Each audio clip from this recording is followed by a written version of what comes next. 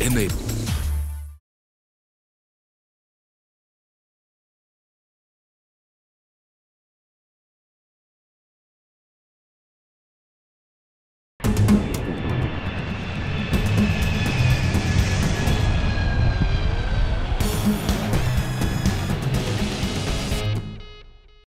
and welcome to Powering Aviation, where CNBC TV 18 in association with uh, GE gets together top stakeholders uh, in the aviation sector. And today we are going to discuss uh, technology trends in civil aviation. By 2050, United Nations estimates that two thirds of the global population will be living in cities, and mobility will play a crucial role in the socio-economic fabric of the future. Now, it is abundantly clear that uh, innovation and technology uh, in the areas of material science, uh, alternate fuels, uh, as well as IoT devices, that will drive and disrupt uh, the aviation ecosystem. And to discuss uh, these future trends, we are now being joined by Bala Bharadvaj, who is the former MD of, of Boeing India Engineering and Technology Center. We also have with us uh, Sourav Sinha, who is the Chief Information Officer of Indigo, joining us from Chennai is uh, Professor Satyanarayan Chakravarthy, who is a professor in IIT Madras, and Vikram Reddy, who is the general manager of GE Aviation. Thank you, gentlemen, for joining us. Uh, let me straight away go to Professor Chakravarthy. Sir, uh, let me start by asking you about the uh, future uh, technology ecosystem that we are going to see. Uh, we understand that uh, many of these prototypes and new ideas related to the civil aviation sector, they are in the drawing boards now across different uh, R&D labs uh, across the world. But uh, we will see commercial production of many of these uh, prototypes and systems in the near future. Can you give us a short snapshot of what to expect in terms of new technology related innovations in the civil aviation space? Thanks for asking this very important question to start with, right? So one thing we have to actually understand is technology is meant for uh, implementation on the ground. So what technology we have to be really worried about is what's going to be pertinent to aviation. And in that respect, we have to actually look at this as a uh, change with continuity. So in the last 10 years, what we have seen is moving away, maybe more than more than 10 years, in fact, moving away from a hub and spoke system that people, people used to follow, where there were like very big hubs in airports uh, in major cities, and then everybody will have to actually go to the hub and then go to another hub and then go from there and stuff. That was that's, that was the original plan, and uh, uh, you know the larger and larger aircraft were actually being uh, uh, catered to by these these large hubs. We are moving away from that. Let's say, for example, the Boeing uh, Dreamliner kind of tried to disrupt that by having smaller aircraft that can go longer range. And that changed things a bit. And people are now trying to actually do lots of you know, uh, hinterland travel directly from point to point, right? So, for example, going from Hyderabad to uh, Birmingham, right? So, so, something like that, um, rather than having to go from Hyderabad to Delhi or Bombay, and then from that to London, and then from that to Birmingham, right? So, this is changing things. So, what it essentially means is that we will go in the direction of longer range, smaller aircraft with smaller approach, apports that are distributed further and further. Uh, uh, Bala, you know, you have been uh, associated with a company uh, like Boeing uh, for for uh, over 33 years, and you also headed a very important, you know, Boeing-related institution in India. Um, my question to you is, what do these technology-related changes they mean uh, for for OEMs like uh, Boeing or or Airbus? The technologies eventually have to get onto the airplane. so I mean that is what the OEM would be looking for. And you know some of the things that Professor Chakravarthy mentioned, uh, for example, about using hydrogen as a fuel, you know, 3D printing. We also refer to it as additive manufacturing these have been these kinds of technologies have been in the works for a very long time. Uh, you know going back to almost uh, 20 years. Uh, now they are definitely becoming more mature and today we have 3d uh, printing for example being used in certain parts of the airplane. Uh, we even have 3d printed parts uh, you know used in spacecraft today. So the technology has matured but they will continue to mature. Uh, and it is not only the engines that will benefit from it, uh, I think the airframe will benefit from. you know, one of the fundamental things when you talk about efficiency of aircraft is, you know, how heavy is this aircraft, and and the the more we are able to uh, to design structures smartly, uh, we can make the aircraft lighter. If the aircraft becomes lighter, lighter, it requires less fuel to fly it from place to place. So it's kind of a virtuous cycle where a lighter aircraft means less fuel, less fuel means lighter aircraft again. So you know it actually you know ends up becoming uh, a virtuous cycle where uh, it is uh, one technology or one area of the aircraft is actually helping to improve the other area of the aircraft. Now uh, let's try to go into some specifics, uh, and and I want to get uh, Vikram into the conversation now. Uh, you know, uh, we have seen that you know reliability, serviceability, and of course, you know we are talking about you know you know even sustainability issues. They are extremely crucial for the aviation sector. Now, as new innovations uh, uh, they get online and and uh, companies start using it, uh, by how much can companies squeeze in uh, more revenue per aircraft uh, as they get used to this new technology paradigm? Vikram. Sure.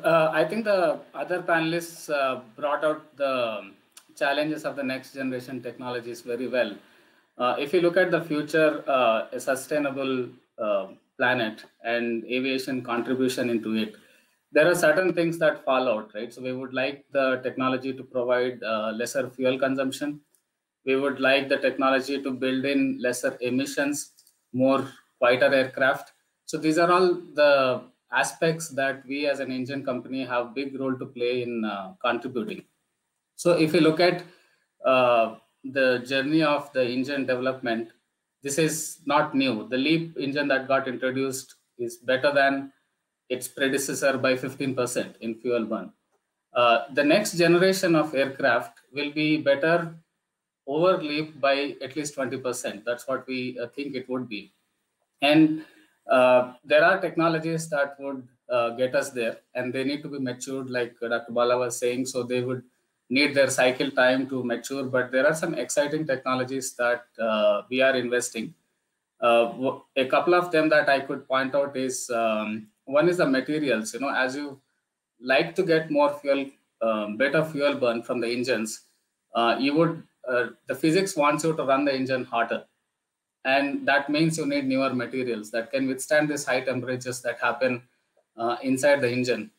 So the materials like ceramic matrix composites, for example, is a big innovation that is going on. They they give you one third of uh, come at one third of the weight of current materials, but can take another 500 degree Fahrenheit more. So there is uh, a technology out there. Uh, uh Professor Chakravarthy talked about 3D printing. It's a huge um, technology for us to take um, take this technology, be able to develop complex designs but not increase the cost. Uh, so our catalyst engine that we're working today, for example, has um, converted 855 parts into 16 parts just because we are able to integrate parts together and print complex parts the journey will continue and it will play a big role in uh, in future as well. Right. Uh, vikram uh, i want to ask you one more question uh, very quickly.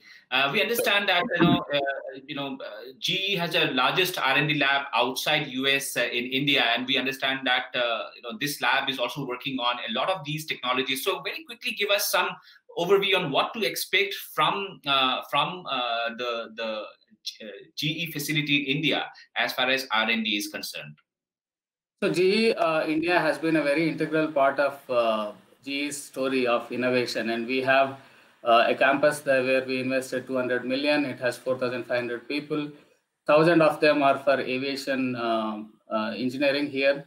So just as a foundation, the uh, most recent product that we developed, GE9X program, a significant portion of that engine development happened out of India. And this is a record breaking engine uh, with respect to its thrust.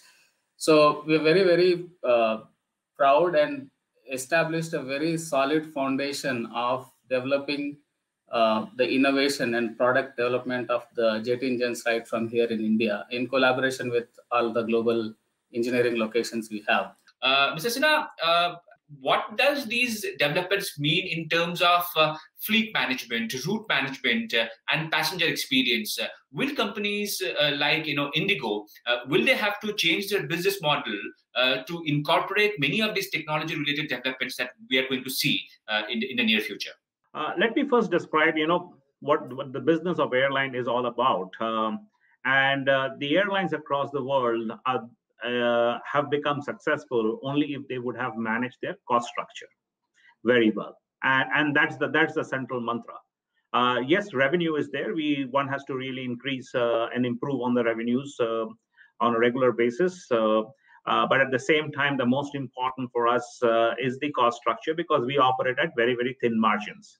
So obviously fuel and that's what both dr bala as well as vikram and Professor Chakravarthy mentioned about it. So fuel constitutes about 35% of any airline cost. And that is substantial. And that is something where we have really no control in terms of the price of the fuel, which is driven by the international markets. Uh, so obviously efficiencies, weight, and all this stuff actually plays a very, very important role for any airline and also for Indigo, obviously. Now, when I say about uh, uh, about uh, fuel efficiency, the engines. As a matter of fact, what we have done in the recent past, uh, we we had taken efficient engines from from Pratt and Whitney. Although, as uh, I think Dr. Bala was mentioning, you know, new technologies always have a challenge. Uh, yes, it did pose a challenge for Indigo uh, over a period of eight to 12 months where we had some performance issues with all these engines, but we have been able to replace them. We have been able to fix them with the help of the OEMs. Now, uh, we are again getting into another new engine type, which is from GE CFM56 engines, which we call LEAP engines. And uh, these have just started coming in. The new deliveries uh, of our aircrafts are coming in with those engines. And these are engines which will give me a savings to the tune of about 15 to 20% in fuel.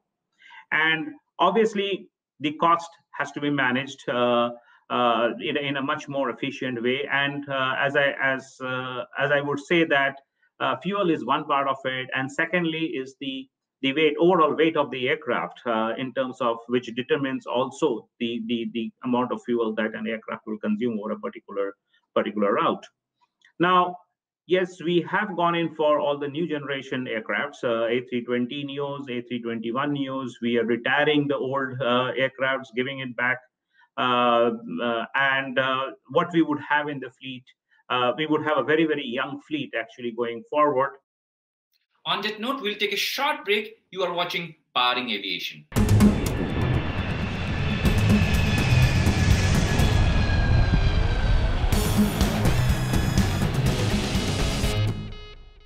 Back. You are watching Powering Aviation, where CNBC TV 18 in association with GE gets together top stakeholders in the civil aviation sector. I want, I want to get uh, Bala uh, again into the conversation. Uh, you know, one byproduct of these technological innovations that we have discussed so far uh, would be, you know, uh, the the em- emergence of uh, you know aggregators in the in the civil aviation space. Now, when that happens, uh, what shape could such new entrants take, and uh, how should uh, uh, airline companies uh, adopt strategies to take care of uh, disruption of uh, business models because of aggregators in the civil aviation space? Yeah, before I go there, I think when you say aggregators, you're talking about companies like a, an Uber or an Ola. that is more a matter of how you provide service to the passenger. Now, you know, the aggregator you know is providing a certain convenience factor. But at the end of the day you know whoever is running it like if it's a uber you know there are people who are driving the cars they have to maintain the cars uh, whatever revenue they generate through the aggregator still has to make sense to them. So i think that would still continue from an airline perspective. Uh, the airline could actually get additional passengers because the aggregator may provide another stream uh, where the airline can now, uh, you know, source passengers, so to speak. Uh, but I think I want to go back to the, the comment that uh, uh, Sourav was making. Uh, there are, you know, digital technologies that are being used today to improve the way the airline flies the route, uh, to improve how we can maximize the, the fuel efficiency of the existing fleet. Because at the end of the day, you know, when we talk about these long range development of technology, uh, you know, airlines are not the kind, you know, airplanes when we make them, uh, whether it is Boeing or Airbus or anybody else, these don't change, you know, like cell phones. You know, you cannot just go change them every few months. You, it takes a long time to develop them. But then there is the whole layer of given a particular fleet, given a particular aircraft type, how can I maximize the utilization of that aircraft? Uh, and it goes all the way from, you know, is there a particular route that I can use?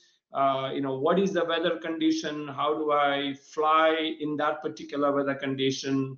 Uh, how do I take advantage of the weather? How do I avoid the situations where uh, it may be adverse impact on the fuel? So there are other aspects of this, and this would not be impacted by how my passengers are, you know, being pointed to the aircraft. Right. Uh, you know, uh, we are uh, going short on time, and hence uh, I would want uh, Mr. Uh, Chakravarthy to answer this, you know, very briefly. my question to you is regarding, you know, supersonic travel. I mean, and we understand that globally, many companies and startups are actually working on this, and perhaps we would see, you know, P2P supersonic travel in in the in the future, the revival of supersonic sonic travel as far as business travel is concerned.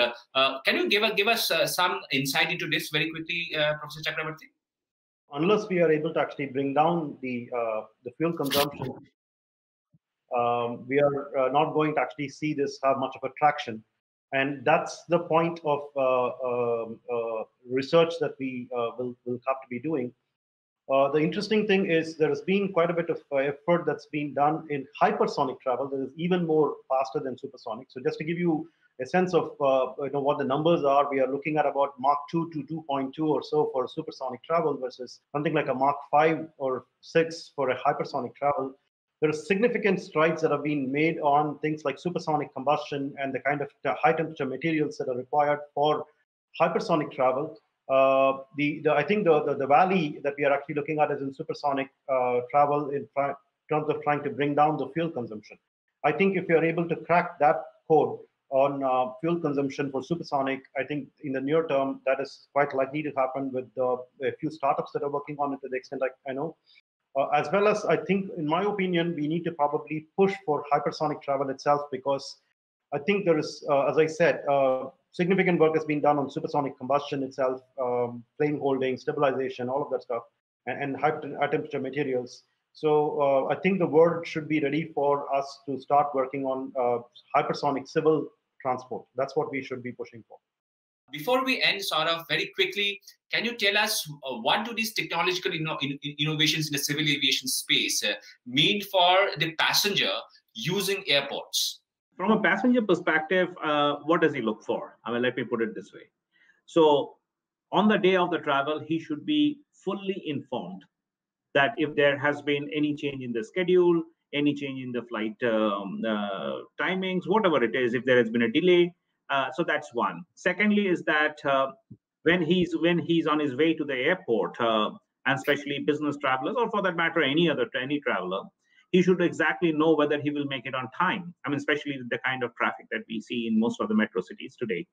So, giving him an assessment, giving him an assurance, uh, is something that uh, he would typically look for. That hey, you you know what, uh, you are still 30 minutes away. Um, you know, but uh, we we are closing closing the check-in counters where we are closing the gates probably in the next 20 minutes, so you will not make it there. And so we are booking you on an alternate flight. I mean, he doesn't have to come to the airport and then then then run between counters and run between airlines to get a ticket for himself. In that way, the airline also benefits. I mean, he's been able to retain that customer. Otherwise, he the customer would have gone to a uh, another competitor. So that's one when it reaches the airport i mean all of us have experienced uh, you know the delays and all that stuff while now uh, one is that the, the volume passenger volume is less uh, but at the same time it has been a government mandate that all of us should do a web check-in or a mobile check-in. That has reduced the the kind of crowd which actually used to happen. You used to see you know long serpentine queues in front of the check-in counter or in front of the kiosks. But that's not the end of the game. They, they people as a passenger i would also look forward to you know how do i seamlessly go through my security uh, go into the departure hold area and how seamlessly i can board the aircraft and that's where we, as you mentioned you know digi yatra kind of initiatives will actually come into uh, a, a very good benefit for the for the customers on that note, we are completely out of time, but important insights coming into what to expect as far as uh, technology and innovation in the civil aviation sector is concerned. Uh, Bala Bharadvaj, uh, Sourav uh, Sinha, uh, Professor uh, Chakravarthy, and uh, Vikram Reddy, thank you so much for joining this conversation. You are watching CNBC TV 18.